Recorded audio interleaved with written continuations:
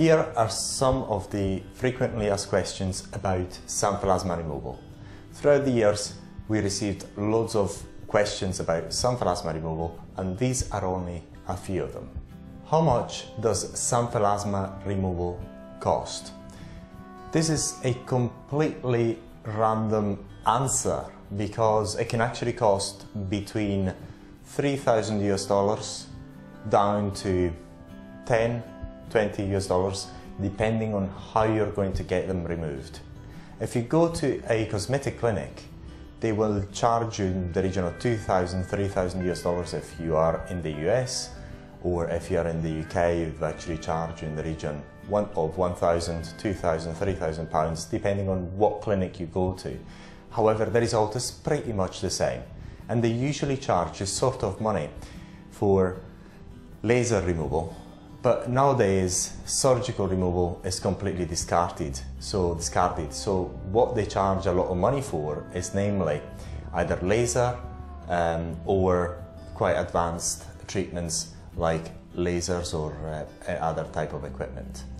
If you're then using uh, plasma devices, then the cost goes down because of uh, the wide availability of plasma devices, um, plasma or electrical arcing devices. So the cost may go down and and then if you use if they use cosmetic peels like TCA, which they actually do use themselves many times, then um, the cost goes down as well. So it depends on the type of cosmetic um, clinic you go to, um, how high end that may be, how much money they invest in advertising, uh, and so on. Um, then the cost may vary. However, the results pretty much are pretty much are the same across the board. So you can actually spend two to three thousand US dollars or even less or down to maybe 500 US dollars for um, a treatment at a cosmetic clinic, depending on who, what cosmetic clinic you go to, what sort of treatments they, um, they're going to use to remove your xanthelasma, you're going to be charged at a different rate. So, um, and then if you actually do it on your own, then it costs even less. It can actually cost up to 10 to 20 dollars just the cost of a TCA peel that you would actually do yourself in the very cheapest case scenario. So hopefully that answers this particular question. The other question is, if I decide to have my xanthelasma to be surgically excised, surgically removed, how many treatments do I require? Now, usually, um, surgical uh, procedures are not performed any longer. However, there's still some uh, people, some doctors who still perform them. They're completely obsolete. There's no reason to actually go through this. Um, uh, this sort of procedure is quite invasive. Um, there's many devices out there that can be used for this sort of um, treatment. They are not as invasive, including lasers or electrical arcing devices, so they're not the preferred uh, method to remove xanthelasma. However, if you go down that route, usually one treatment is um, is okay, is enough for you to have your xanthelasma removed. However, xanthelasma, no matter how you're going to remove them, either with surgery, electrical arcing, lasers, whatever else, cosmetic peels, if they want to come back after a few months, three, four, five, six months, or a year, they will come back. And there is nothing you can do about it. This is one of the reasons why we always say, why would you want to go for an expensive treatment? Because after all, very likely if you had xanthelasma before, they're going to come back. Um, and therefore you're going to repeat either same treatment or you're going to go for something cheaper. So um, surgical excision or surgical removal of xanthelasma is best to be discarded if possible. However, if you go through it, um, you have you must be aware that yes, it may take one session only in order to remove them completely, but they can actually they can actually come back later on in a few months or in a year or two years, depending on your particular case. The other question is, if I decide to use a cosmetic peel, a specialized cosmetic peel like TCA or possibly the XanthRemover or whatever other um, cosmetic peel that is suitable for this particular application. how many treatments do I need in order to get them removed?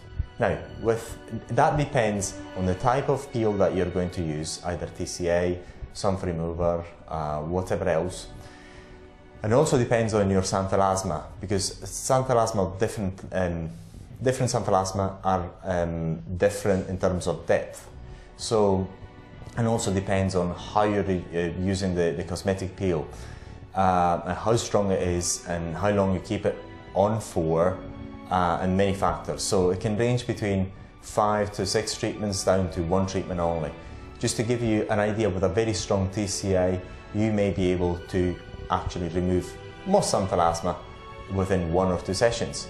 Um, with a XanthRemover, if you keep it on um, and you let it dry, um, you can actually even remove it with, within one application.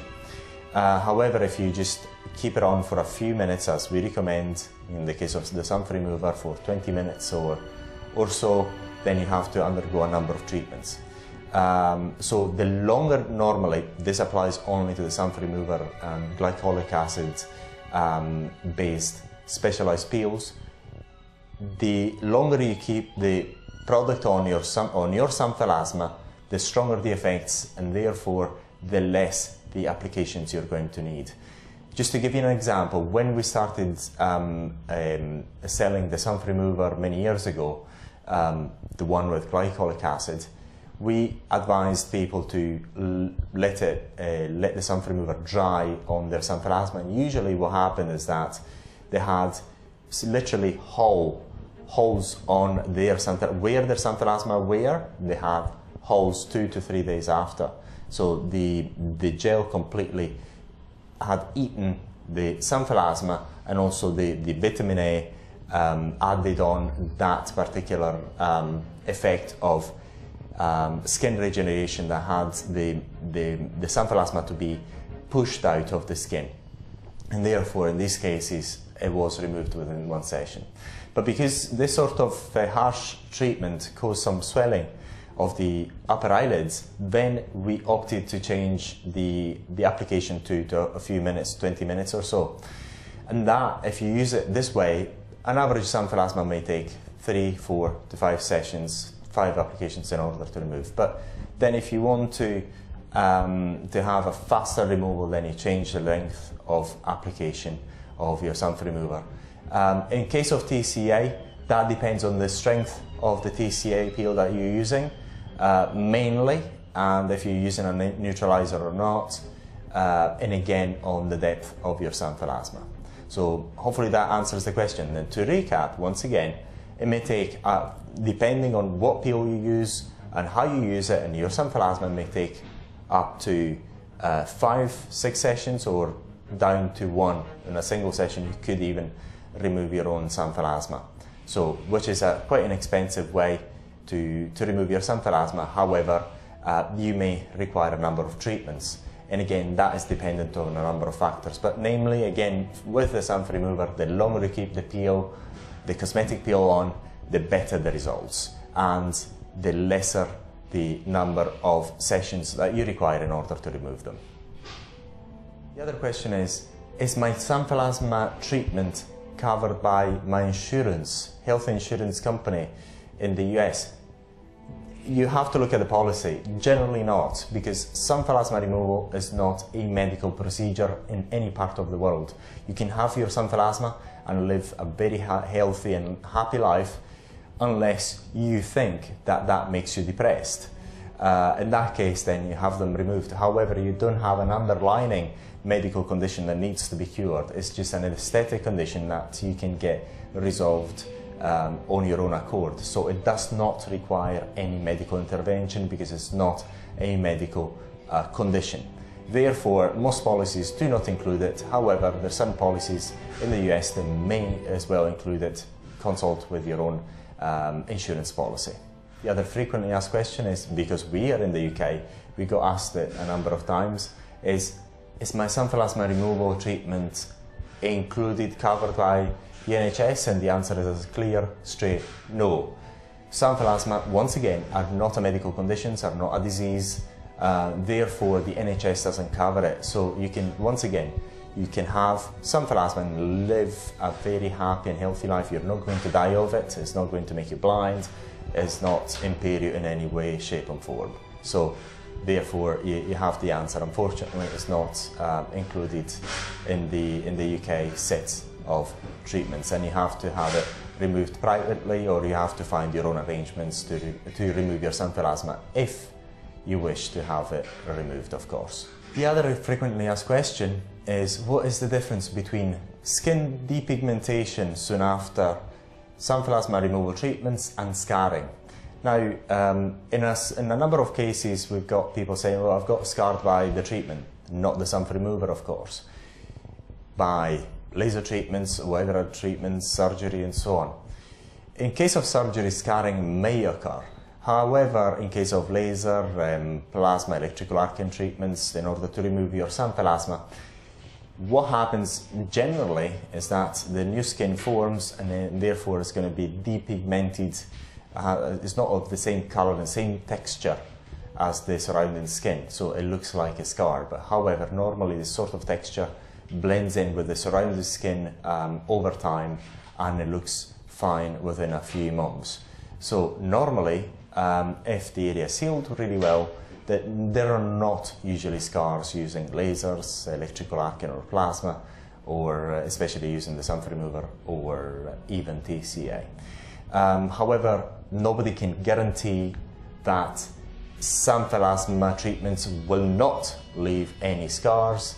If they do, by all means, try them. Make sure that they, they, sign, they sign on a dotted line because uh, it is possible that you're going to have a mark left somewhere where the, the xanthelasma was in the past.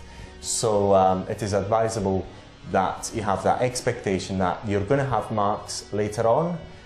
Likely, let's say 20% of the case, 30% of the cases, there are some marks later on, but nobody, nobody really bothers about them uh, because it's much better to have slight marks than having the yellow patches of um, those xanthelasma. The other frequently asked question is, will I have scars after surgical um, excision uh, for xanthelasma removal?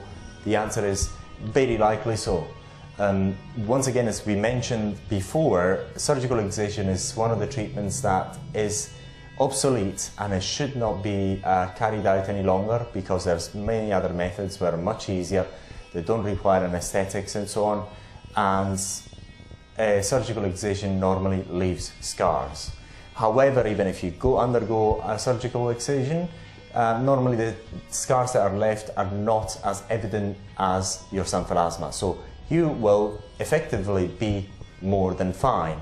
However, you shall not expect this sort of treatment to be scar-free. So you would expect to have scars after the treatment uh, surgical treatment for xanthelasma removal. One of the other frequently asked questions, and this is one of the most important ones, is will my xanthelasma come back after my xanthelasma removal? Now, it's a very, very clear answer to that. No xanthelasma removal treatment can guarantee that your xanthelasma will not come back. They can come back in the same spot a few uh, months after, three to four months after, or they can come back one or two years after xanthelasma treatment. So um, it can happen. Usually, what happens is you have your xanthelasma removed, they're fine for a few months to up to a year, and then they appear back again. And they can either appear on other areas of uh, your eyelids or lower eyelids, or exactly on the same spot of the of your eyelids. Um, with um, the XanthRemover, normally, if they do appear, they normally appear on other areas of uh, your eyelids and usually they do not reappear on the exact location where you had them uh, before removal using the XanthRemover. We hope that you liked this video. Um, once again, if you have some xanthelasma and you'd like to have them removed, by all means, why not using the XanthRemover? It's a product that has been tried and tested, extremely successful, and we actually helped thousands of people the world over remove their xanthelasma using the XanthRemover, which you can actually buy from this website, xanthelasmaremoval.com from Areton Limited. This is Andreas, and we wish you a great day.